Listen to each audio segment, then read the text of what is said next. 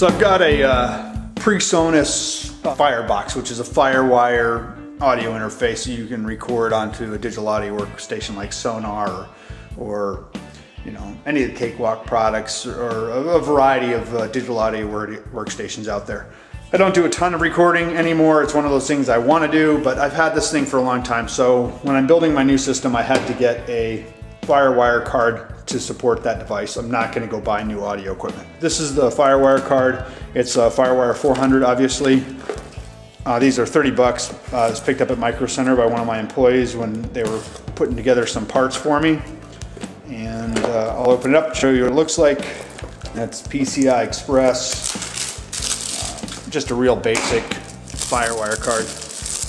Apologize for the lighting today. I'm having to work in the shop and it's cold and I've got no sunlight today. It's cloudy and snowing. So uh, I don't have any natural light. I'm having to use a bunch of halogen lights and it's making for a lot of ugly reflections.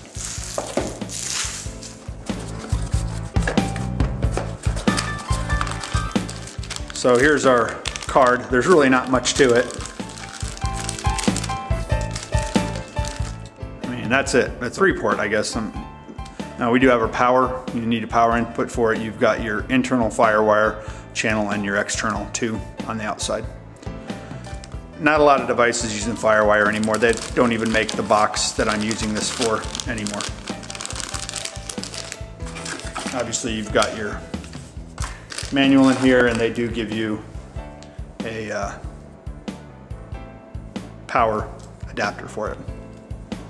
So this one, this particular one's by Vantec. There's a lot of a lot of different companies out there to make it, but it's going to suit my purposes. Thanks for watching.